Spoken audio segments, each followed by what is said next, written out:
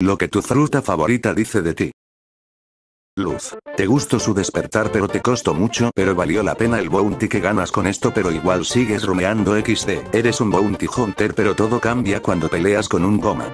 Kitsune. Spameas el dash. Hielo lloras porque tu enemigo no está en la tierra. Magma.